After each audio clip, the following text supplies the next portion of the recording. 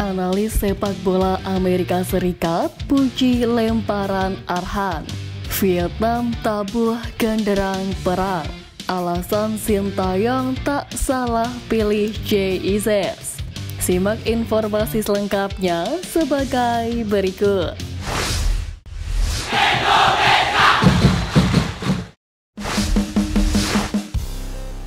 Jadi senjata andalan timnas, analis sepak bola Amerika Serikat puji lemparan Arhan.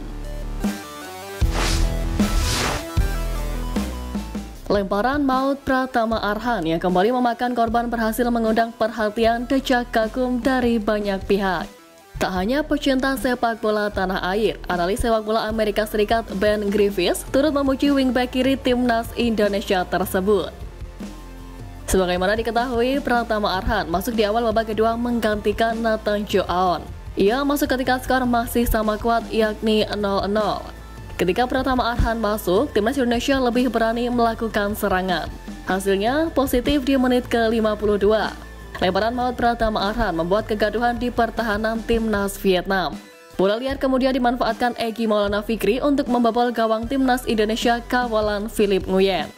Menariknya, Ben Griffiths akan bicara setelah menyaksikan laga Timnas Indonesia versus Timnas Vietnam di matchday ketiga Grup F kualifikasi Piala Dunia 2026 tersebut. Melalui unggahan akun X-nya, ia takjub melihat lemparan Pratama Ahran yang begitu jauh.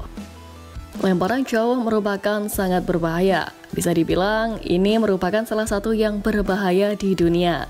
Tulis Ben Griffiths. Analis sepak bola asal Amerika Serikat bahkan juga menampilkan video lemparan Pratama Arhan yang kembali menjadi perbincangan dunia.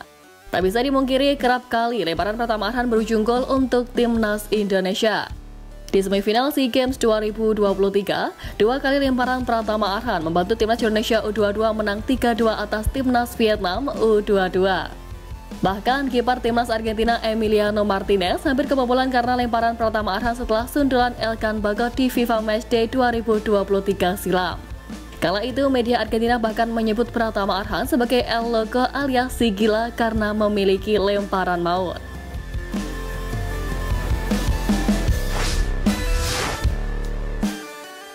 Alasan Sintayong tak salah pilih JIZ.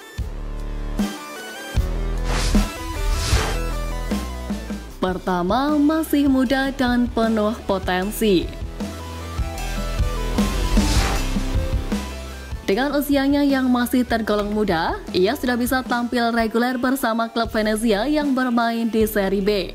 Sejak mulai menagadai timnas Indonesia, para penggemar tentu sudah hafal dengan sejumlah kesukaan Sintayong. Salah satunya adalah menggunakan jasa-jasa pemain muda potensial di squadnya. Hal tersebut juga berlaku untuk Jay Izes. Mengingat usianya yang masih muda, potensinya pun masih terus bisa berkembang. Bersama tempaan yang tepat dan cermat, ia bisa saja menjadi seorang back hebat di kemudian hari. Kedua, pengalaman bermain di Liga Eropa. JIZ tercatat menjadi bagian dari Venezia. Klub tersebut bermain di Serie B, kasta kedua Liga Italia. Melihat ke belakang, Izes baru didatangkan Venezia pada Juli 2023 lalu. Meski belum genap setahun, ia sudah mendapat kepercayaan untuk sering tampil mengisi satu slot di lini pertahanan Venezia. Sebelum itu, Izes juga sempat menjadi bagian dari Go Ahead Eagles yang bermain di kasta teratas Liga Belanda Eredivisie. Pada musim lalu pun, ia mencatatkan 32 penampilan dengan kontribusi satu gol.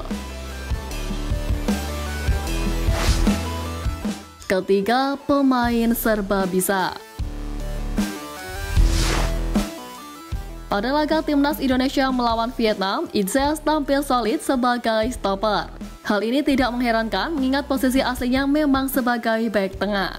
Kendati begitu, back tengah bukanlah satu-satunya posisi yang bisa dimainkan Jay Izes. Berkaca pada pertandingan-pertandingan di level klub, ia pernah beberapa kali diplot sebagai gelandang bertahan. Kemampuan multiposisi Isis ini menjadi satu nilai tambah yang tentunya disukai Sintayong.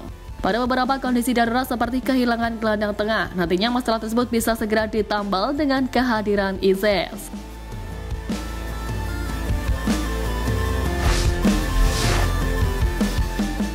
Diwarnai aroma balas dendam, Vietnam tabuh genderang perang.